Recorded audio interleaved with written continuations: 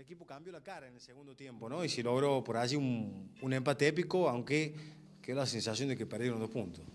Sí, bueno, mira, eh, creo que en el segundo tiempo es la idea de juego que tenemos.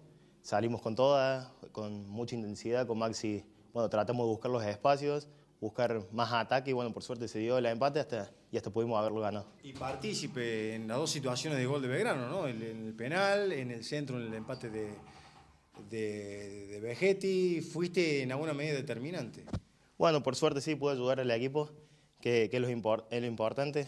En el penal, bueno, siento que, que me choca de atrás, me dejó caer y creo que fue claro penal. Y, y bueno, en, en, el otro eh, pude tirarse el centro y, y, Pablo siempre está ahí y, y no erró y, y, por suerte pudimos empatar. Desde el banco y suplente, ¿cómo viste ese primer tiempo?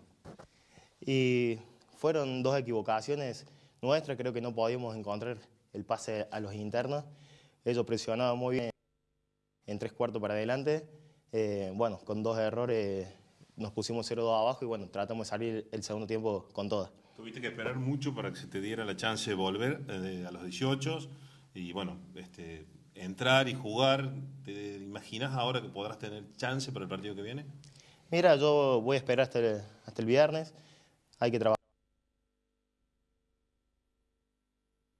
En la semana siempre al 100% y estar a disposición cuando el técnico decida ponerme, ¿no? Siempre dar el máximo cuando me toque. Gonzalo, eh, hablando de lo que decía Pablo, ¿eh, ¿le generaste alguna duda ahora el técnico o no? No, no sé, yo siempre trabajo el máximo en cada entrenamiento. Él sabrá si, si ponerme o no, eh, es decisión de él.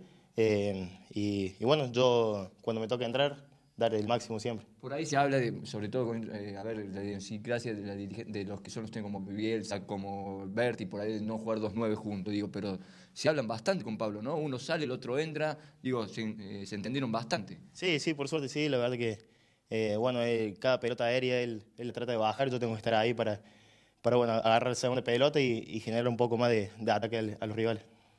Conseguiste los minutos que estás buscando, el equipo consigue un buen punto, pero me parece que en juego le queda todavía mucho para, para darle.